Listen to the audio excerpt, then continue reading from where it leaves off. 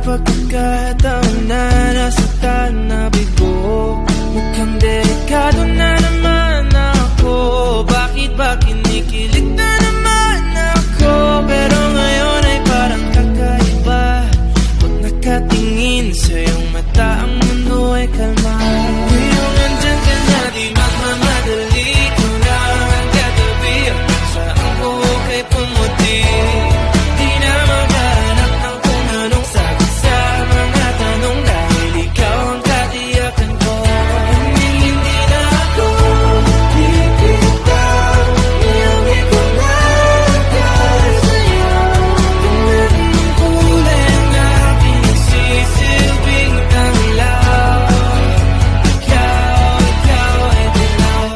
akala'y mararamdaman ko muli ang yakap ng panahon.